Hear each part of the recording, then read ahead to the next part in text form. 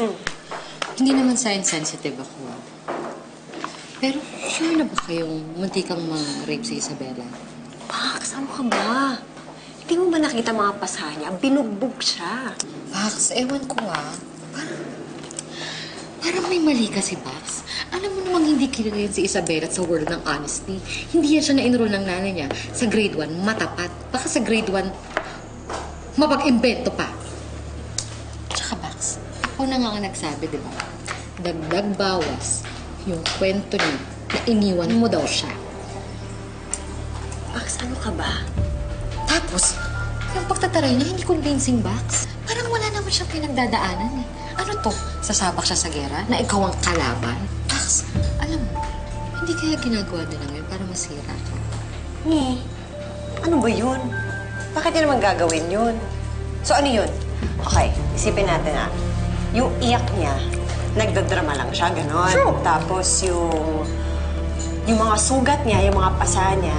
So ginawa niya lang sa sarili niya yun? Why not? Eh, ano yun? Baliw, gano'n? Oo, ganun na nga. O paano? Ano? Grabe siya. Mayumi, ano sabi mo? Pinagtatawanan mo anak ko. Iniisip mo na baliw siya? Tito, nag, nagkakamali lang ho kayo ng pagkakarinig. Hindi ho yun yung ibig ko sabihin. Oo nga po, sir. Hindi. Narinig ko. Pa- Paano nyo sasabihin na mali ang pagkakarinig ko?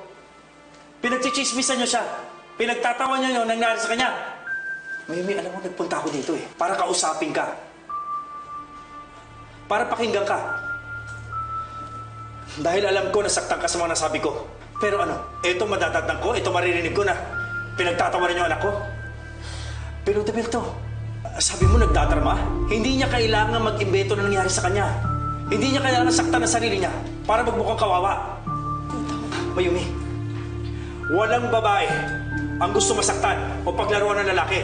Tito, let me explain, please. Na-trauma si Isabel. Pinagchichismisan niyo ba? Hindi ko na-expect sa'yo ito, Mayumi.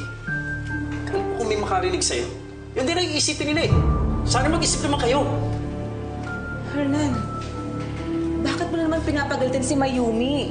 Sinisiraan nila ang anak ko. Hindi naninira ang anak ko. Push yun ang Hindi ginagawa nila kanina. ang manira ng tao. Luisa, yun ang ginagawa nila kanina. Pinapalabas sila na peke ang nangyari kay Isabel. Nabaliw ang anak ko. Na siya lang ang nanakit sa sarili niya. Hindi magagawa ni Mayumi yan. Push yun narinig ko sa kanya. Luisa, ako ba ang sinungaling? Hernan, wala akong sinasabing ganyan.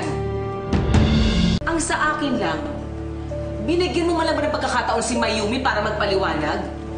Maging fair ka naman. Dahil ako, pareho ko silang pinakinggan. Nay, tama na ho. Ayoko na mag-away-away tayo. Tito Hernan, pasensya na ho. Hindi ho yun talaga ang gusto naming sabihin. Alam niyo, hindi niyo masisisi kung ganito reaction ko eh. Nag-init lang yung ulo ko. Nung marinig ko sila na, ginagawa lang katatawanan ang pinagdaanan ni Isabel. Alam ko naman na mahirap makasundo si Isabel eh, na madalas siyang mali. Pero Luisa, anak ko siya. At siya ang agrabyado dito. Sir, sir, baka gusto niyo mag-usap ka lang sa opisina ninyo. Hernan, naiintindihan kita. Nasaktan ka para sa anak mo. Pero hindi solusyon na pagalitan at ipahiya si Mayumi dahil masakit din yun para sa akin. Luisa, napagalitan ko lang si Mayumi. Yun lang ang nangyari sa kanya. Kumpisor sa nangyari sa anak ko. Hindi ako nakikipagpaligsahan dito kung sino ang mas nasaktan ng anak. Tita Luisa, Dad, tama na. Pinagtitinginan na kayo.